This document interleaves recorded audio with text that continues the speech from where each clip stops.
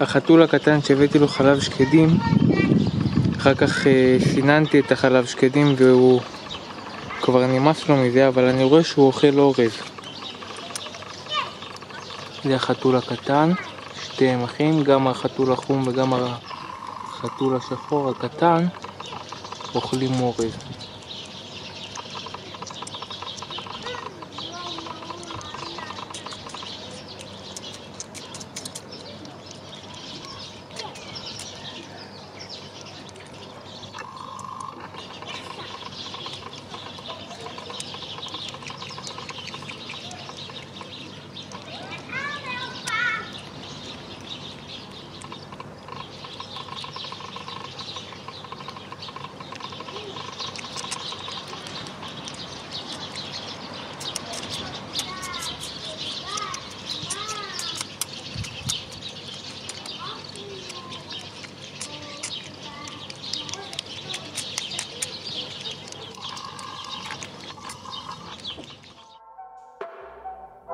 אם אתם אוהבים שאני משתף אתכם, ודאו שאתם רשומים ושלחצתם על הפעמון.